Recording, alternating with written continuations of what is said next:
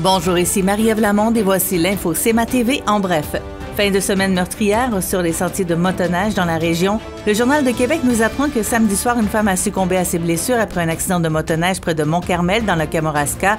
Aussi, un jeune motoneigiste est dans un état critique après un grave accident survenu hier près de Sainte-Sabine dans la MRC des Aides-Chemins. Selon Radio-Canada, au cours des dernières semaines, plusieurs Belchassois ont eu une mauvaise surprise en consultant leur nouvel avis d'évaluation foncière. La facture a augmenté de près de 40 pour certains en un an seulement.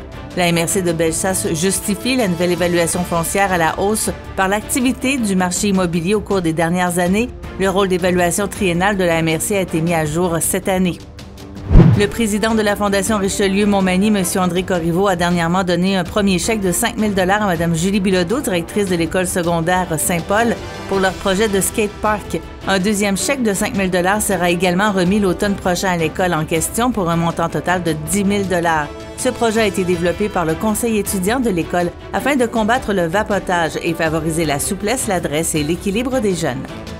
Le géant technologique Meta bloquerait le partage de contenu d'actualité canadienne sur Facebook et Instagram si le projet de loi C-18 devait être adopté sous sa forme actuelle.